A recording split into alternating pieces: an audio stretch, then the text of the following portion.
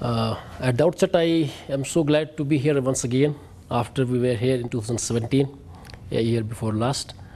And this time, it's a very important occasion for us because our Vice Chancellor, Professor Talat Ahmad, is with us, who is leading the delegation, and Professor Reshi, besides being a professor of botany and our colleague, is a dean of research back at our University of Kashmir. And we have been having a series of meetings with the uh, administrators and the scientists here, uh, right from the chancellor to the deans and the other colleagues, which has been quite fruitful. And uh, it seems that the collaboration that we started is taking new directions and new dimensions in the interest of both the institutions. So that's uh, what is something very good.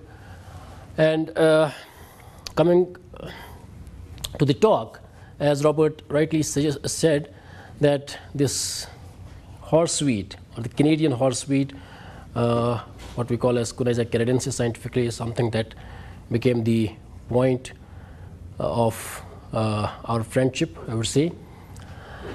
And uh, after that, we have been adding kind of this story that we could uh, unfold with regard to this Canadian horseweed. We have been trying to see through the similar approach how that story follow, I mean, holds true for the other species as well.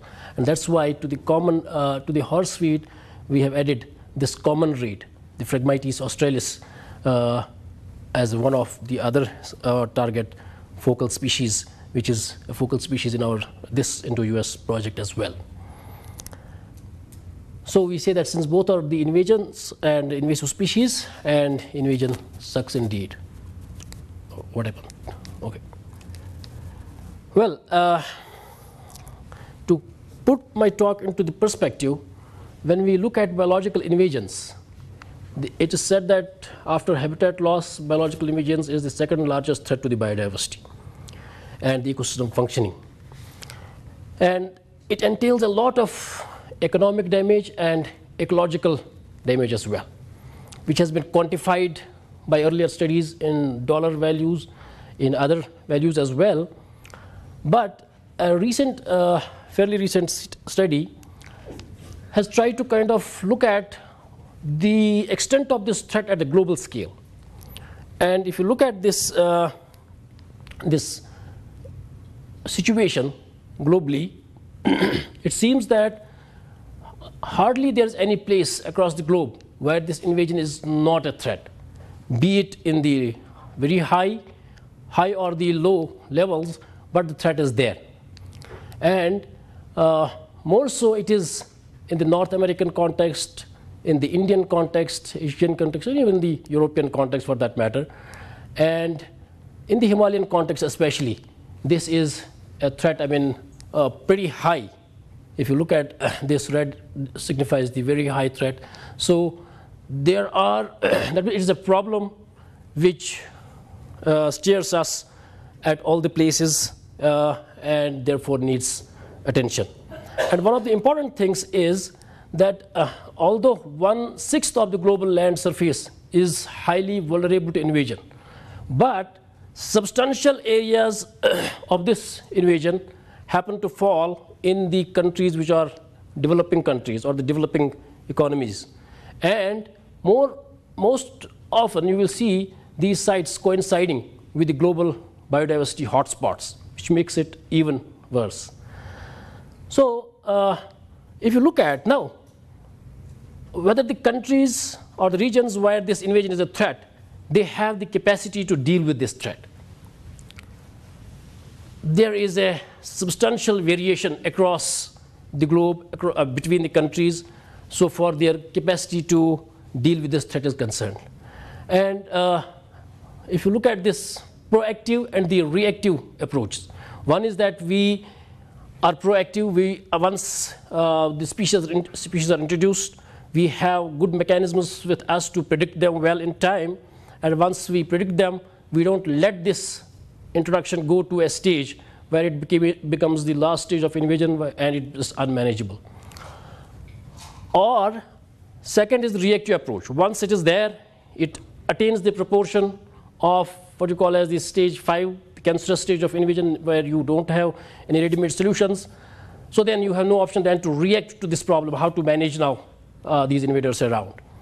In both the cases, you will see that in the proactive approach, you will find most of the developing countries, they, I'm sorry, the developed countries, the countries which have high HDI, the Human Development uh, Index, they have still these proactive policies in place. But so far the reactive approach is concerned, most countries have limited capacity against invasions, especially the developing countries. And this uh, proactive invasion management strategy is very important, especially it is needed in the context of countries with low economic status or high poverty level. And as I said, since these, this invasion threat coincides with the biodiversity hotspots, so we have where the historical level of invasion was not that high, there has to be basically. And India somehow, if you look at Indian context, also it was not a priority in uh, recent past even. And if you look at the countries that are signatories to CBD, the Convention on Biological Diversity, almost only half of the countries have put in place the action plan as is envisaged by the Aichi, targets uh, so far the management of invasion or the invasive species is concerned. Now, this is the most recent uh, kind of update in the Indian context. Uh, our lab has already documented the, as you saw in the documentary uh, film yesterday as well, the invasion, I mean the status of invasive species in the Himalayan context, Kashmir Himalaya, uh, both in the aquatic and the terrestrial systems.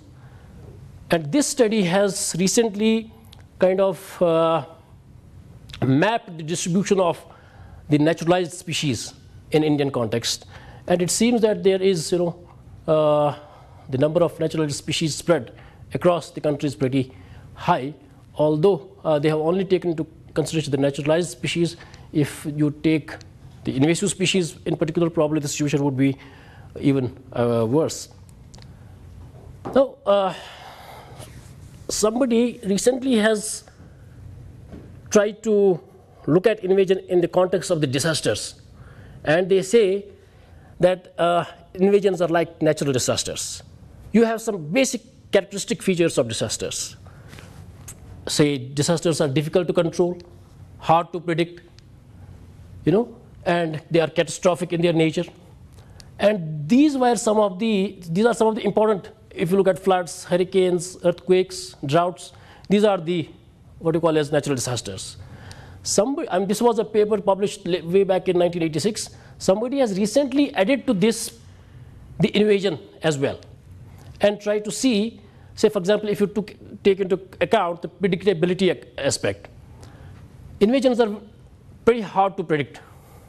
So uh, if you rank them in the descending order of magnitude here, droughts you can predict better than floods, than hurricanes, and invasions are pretty hard to predict, right?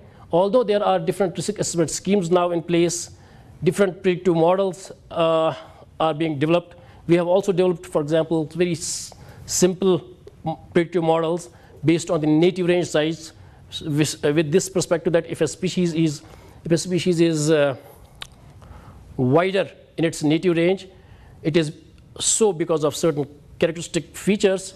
And with those characteristic features, if it goes to the non-native range, those attributes predispose it to be invasive, right? So uh, Likewise, in the human lethality context or the scope of area affected, somehow the fact of the matter is that invasion figures quite well in the attributes that characterize disasters.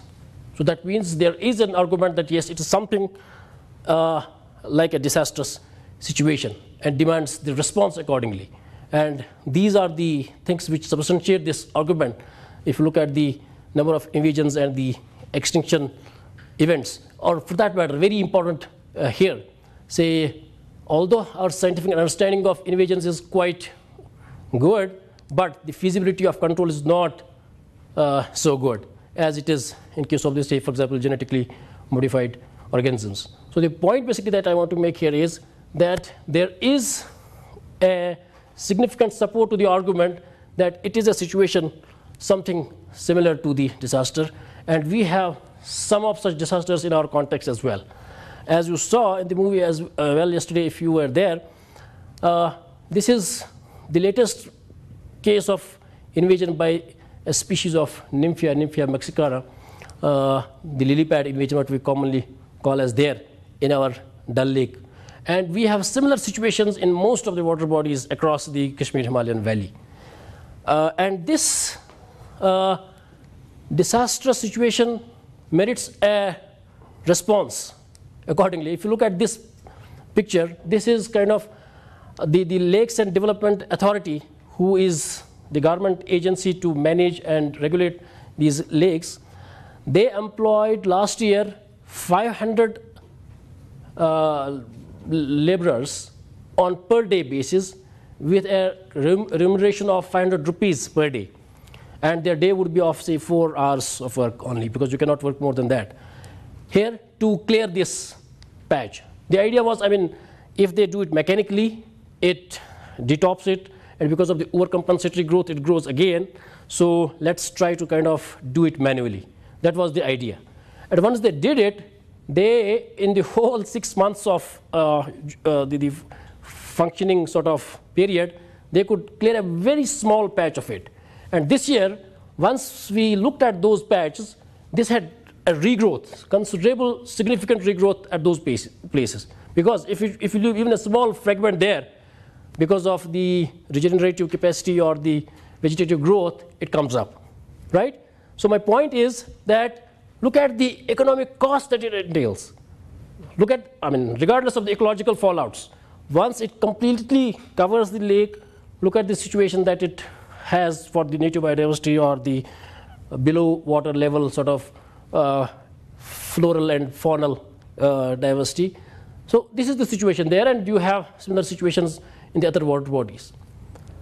Now, a very interesting point that basically I want to uh, bring to your attention is that regardless of the fact that this is a problem globally accepted and there is a huge body of literature that supports this argument, there is simultaneously a, uh, a counter sort of an argument that invasion is not a problem at all.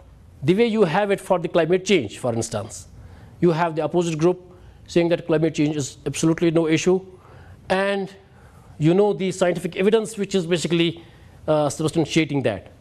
So in that context, if you look at the studies that have been published over these years that deny that invasion is a problem, it has been significantly going up.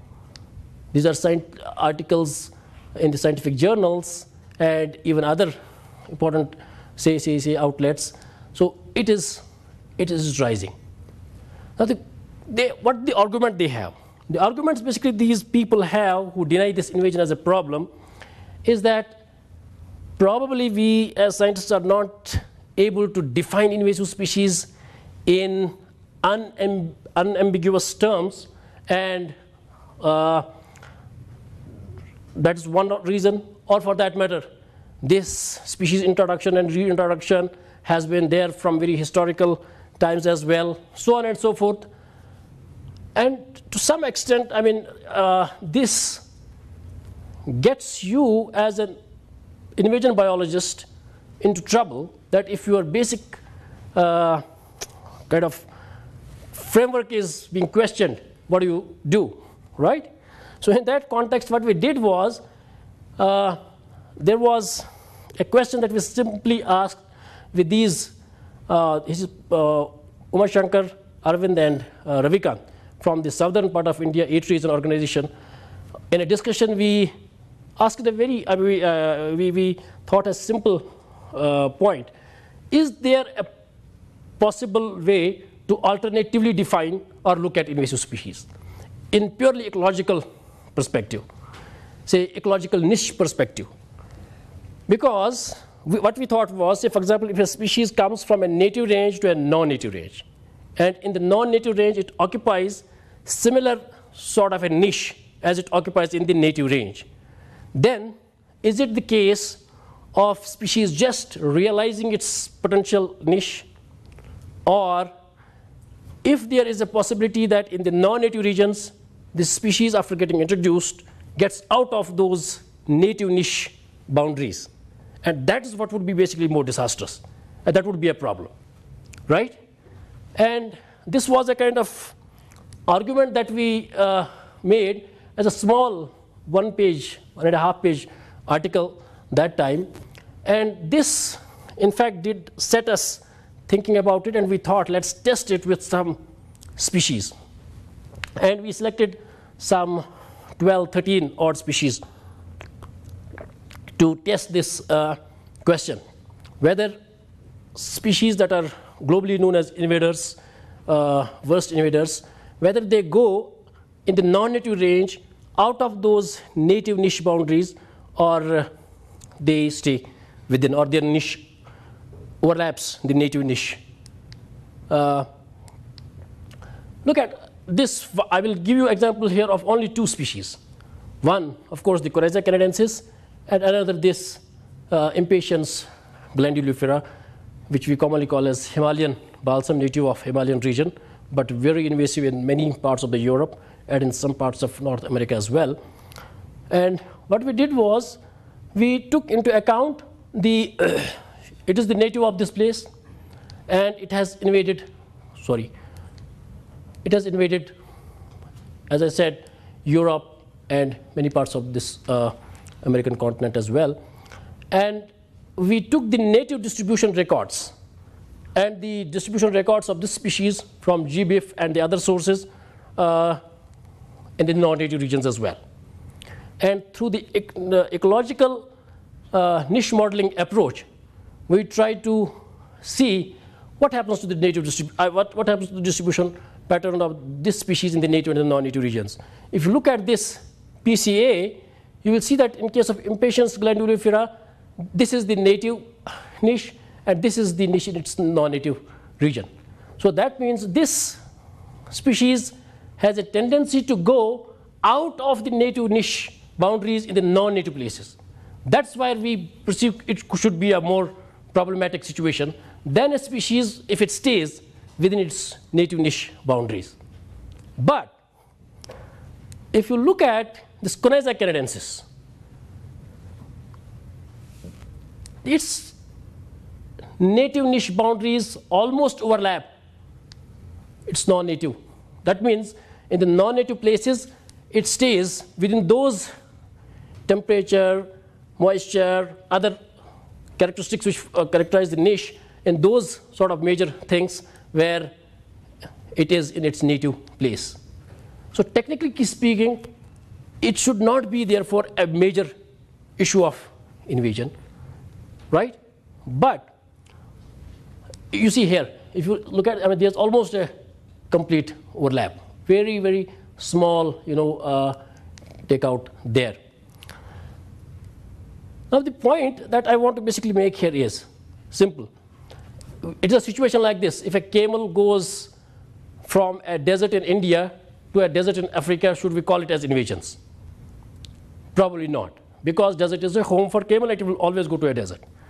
But if a, if a camel goes to a forest like this, so that would be a problem, right?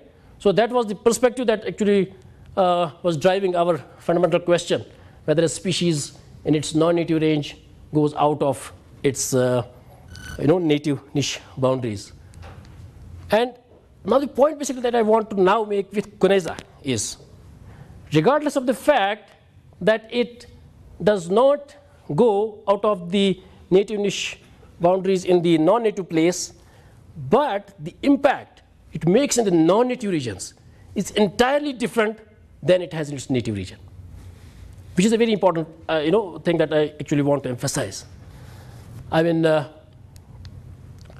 we also focused, as I said, on Phragmites australis. I will try to tell you how these two species, the common reed as the horseweed, uh, have the different sort of impacts in the native and non-native regions, regardless of the fact that uh, in terms of native distribution. In my last talk that I delivered here, I did talk about this uh, pattern of you know, impact of uh, Conyza canadensis in the native and non-native regions. If you can recall that all these red ones are the non-native places across uh, Europe, China, Kashmir, and so on. And these are all non-native, sorry, the native uh, sites in the US and Canada and so on. And if you look at, this is the basically relationship between the Conyza abundance versus the native species richness, and you have steep negative relationships all across the non-native regions. But we do not have such sort of relationships in any of the native sites, and in one of the sites we even could see more facilitative role of, you know, uh, this species with regard to the other species.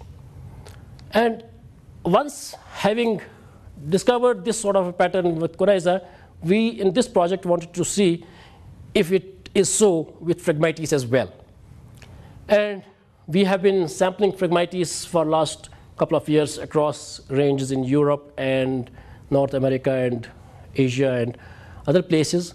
Uh, Robert has been leading this effort in this part, and of course, one of his PhD students, uh, David, has helped us doing it in Europe, and Christoph, also probably whom you might have heard it. We, uh, he had also delivered a talk, I think, last year here. So,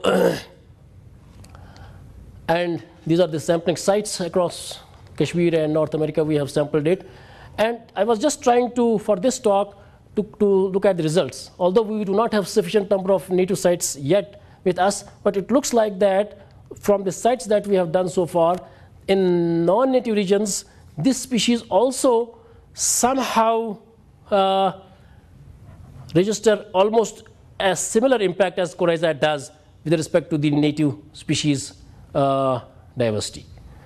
The, uh, we are trying to sort of add more sites in this field season to this, and probably by the end of uh, hopefully this season we'll be pretty sure about the trends that are coming up. But the initial results are that yes, it is doing something similar. As we had done in case of the Conyza canadensis, after we looked at the global patterns of its impact, we tried to see uh, if we grow this Conyza canadensis with this uh, species that co-occur with it in the native regions and in the non-native regions, what sort of competitive effects or the competitive responses it has.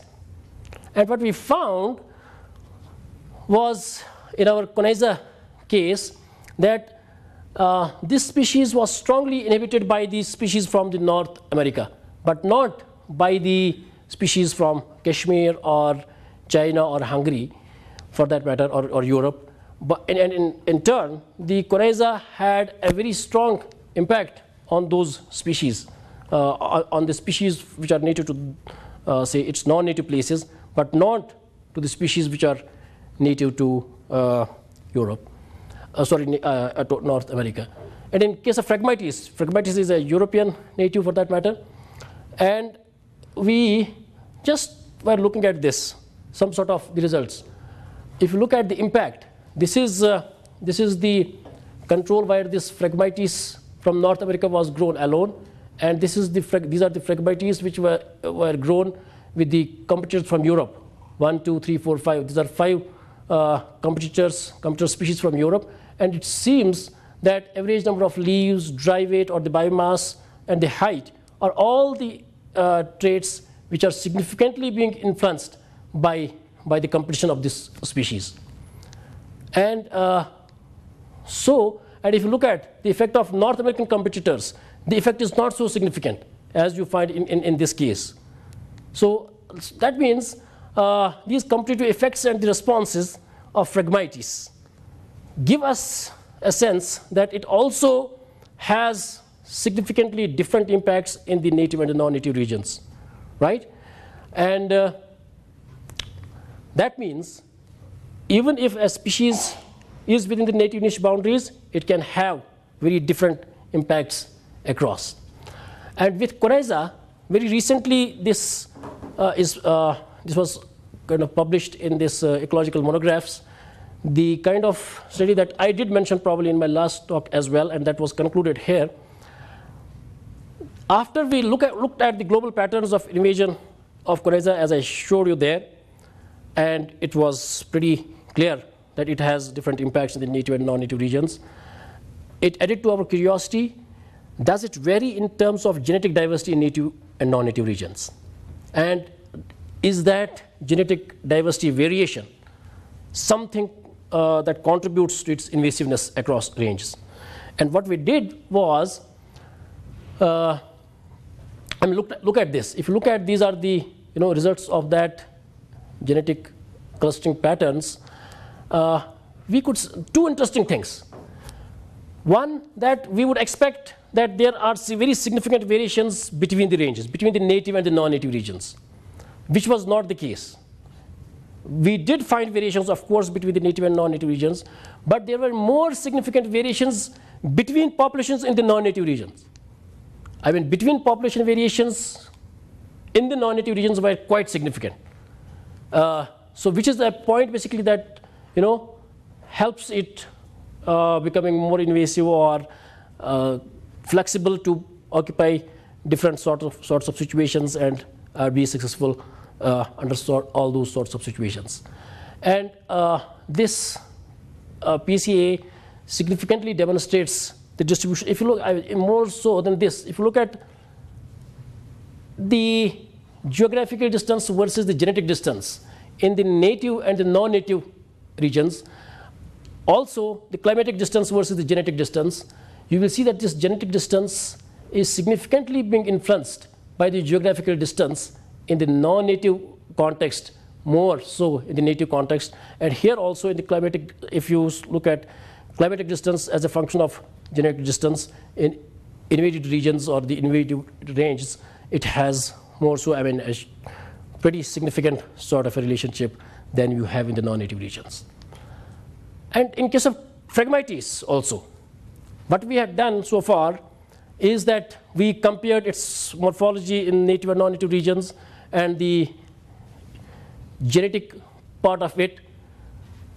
We did not had, unfortunately, that time the samples from Europe, where from it is native.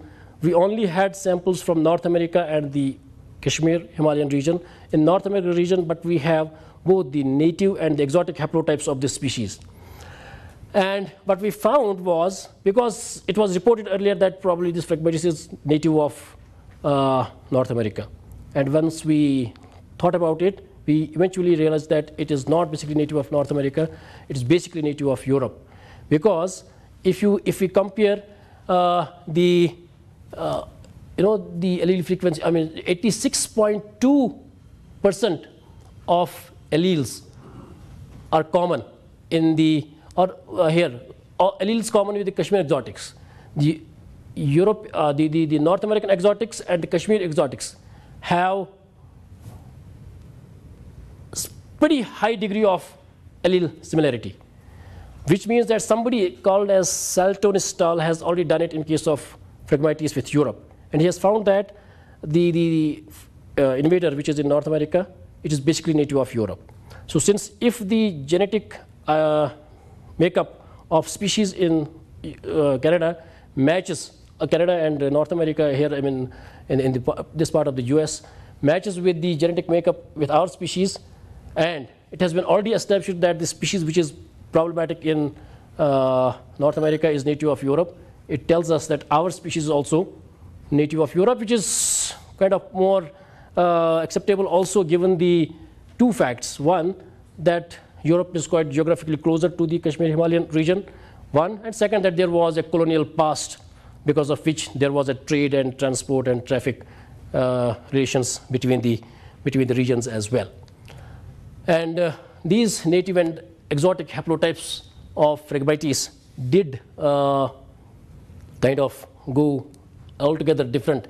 These are three different clusters, only few native haplotypes. These are the Kashmir exotics, these are the uh, North, American, North American uh, exotics. So the point basically that I want to make here is that we have the evidence from Phragmites as well that in terms of genetic patterns. It varies in the native and non-native regions. And what we are trying to look at now is whether there are other, uh, the way we did it with Conyza, we are trying to see if we have already got leaf samples and we are probably going to sample more you know, uh, populations in this growing season and do the exhaustive genetic analysis to see if these genetic patterns also uh, match the patterns that we have got in case of the uh, canadensis. And what I basically try to uh, connect the dots, say for instance in case of the Conyza canadensis. We found that yes, it has different impacts in the native and non-native regions. We found that there is some genetic basis to that as well. And then we were wondering whether there are some ecological or the ecophysiological basis to this as well. A very simple thing that we did was that there are three species of Conyza that we have. Since these are phylogenetically related, Conyza sumatrensis, canadensis, and the bonariensis. And the sumatrensis, I must tell you, is also a very highly invasive species in our case, even more invasive than canadensis in our part of uh, this uh, uh, the world. And our earlier one of the studies had shown that there is a phylogenetic basis of this. We had asked a simple question. I mean, what makes this species invasive? Is it that once, for example, Conyza invades from North America to the Himalayan region? One of the strategies for this species to be successful is to associate with those species with whom it does not enter into a competition. That is a strategy to avoid competition, isn't it? So that means it would tend to get associated with phylogenetically distant species than phylogenetically related species. And we exactly found that in native regions, you will find it more associated with the phylogenetically close species, but in the non-native regions, it gets associated with phylogenetically distant species. That, having that background in mind, we thought since these are phylogenetically related, do they have some ecophysiological basis? because we thought being invasive means that it must be uh, more efficient in terms of photosynthesis. It must be making better use of resources. Its water use efficiency should be higher, so on and so forth, that contribute to its invasiveness. And this is what we found. If you look at this net photosynthesis uh, scenario as a function of uh, photosynthetically active radiations, we found that this Conyza sumatrensis flattens or, you know, at a pretty high, uh, sorry, pretty low level of this. More importantly, something that substantiates is this. If you see this photosynthetic efficiency as a function of internal carbon dioxide concentration or the CO2 concentration, you will find that this can, here it is in the blue, there it was in the green. So here it basically flattens at a pretty high, you know, uh, degree of simply signifying that if there is a carbon dioxide uh, CO2 concentration increase in the context of climate change, the sumatrensis would be far more successful than the other species. So that means there is, and Uzma did, for instance, this experiment, and where she tried to see if mycorrhiza also help in that uh, or not, and she found that yes, once you inoculate this Conyza sumatrensis with mycorrhiza and its photosynthetic rate is significantly, uh, far more significantly improved as compared to uh, the, the, the effect on the say Conyza canadensis and the uh, bonariensis. So, uh, and here, if you look at the transpiration rate, sumatrensis transpiration rate is far lower than the other two species, and the water use efficiency is pretty high. That means these are some of the traits that help this species to be kind of you know invasive. That means there is an ecophysiological basis besides the genetic basis or the phylogenetic basis to its invasion as well. And there is a pretty uh, good support to this argument from the literature that yes, the water use efficiency of the native and invasive plants significantly varies and invasive species are doing far better than the native species. If you see these are the species pairs for the invasive species as compared to the native species from the literature it seems that invasive species have a better basically mechanism of using the resources than the native species or than the non-invasive species to, to further their invasion. And we did find uh, that we compared native, sorry, the invasive alien versus invasive non, uh, I mean, alien invasive versus alien non-invasive species in our case. Just we thought, how do they vary? I mean, a subset of, say, 70 alien species which are invasive versus 70 alien species which are not invasive. And if you look at the results in terms of propagule length, propagule breadth, because it was a study that was more focused on the, uh, you know, dispersal syndromes, propagule weight or dispersal duration, propagules per plant.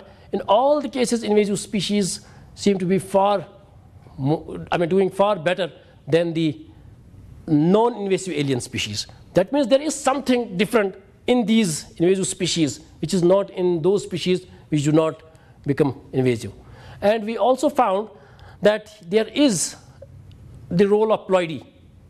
I mean, no, it has been reported by other workers as well that once these species go from native to non-native regions, usually their ploidy levels also change. For example, in case of the Centaurea stoebe, uh, it has been found that in Europe it is diploid, but in, uh, in North America and other invaded regions it is tetraploid. So we found in case of the Kashmir Himalayan context, so for the uh, alien flora that we have, aquatic alien flora, that we tested it, and we found that yes, as we progress with the stage of invasion, you have more polyploids at the higher stages of invasion. That means that also adds uh, one more dimension to their invasiveness. So having said this, uh, we believe that Himalayan region in general is a window to lot of possibilities. We can ask n number of great questions with regard to the invasive species in the Himalayan region. And for that matter, University of Kashmir and Montana Technological University or Montana Tech, previously what you used to call as, are now well positioned to be part of that really exciting discourse to at least explore some of those possibilities. And the kind of discourse that we have had for the last two days now somehow gives me the confidence and the hope that we will be kind of supported at both the places to ask these questions jointly together. And there's already a memorandum of understanding between the institutions for doing that, which has been revised recently, and hopefully we have added new things to that. Uh, and this has been pretty successful uh, collaboration so far. Just a glimpse, a few glimpses of the exchanges that we have had uh, our last year here, and then the people from this place when they visited us uh, the last year. Many talks were delivered by them, those people there, as we are delivering here. So this is a completely reciprocal sort of a discourse. And with that, I thank you all, and I acknowledge all uh, these good students. Roshan, whom you know, who was here last year. Mudassir Dar has been working in this project. Both of them are now also in a job as assistant professors. Gawahar works on Phragmites. Uzma is here. So, and all these funding agencies for their support. And thank you very much uh, for this uh, patient listening.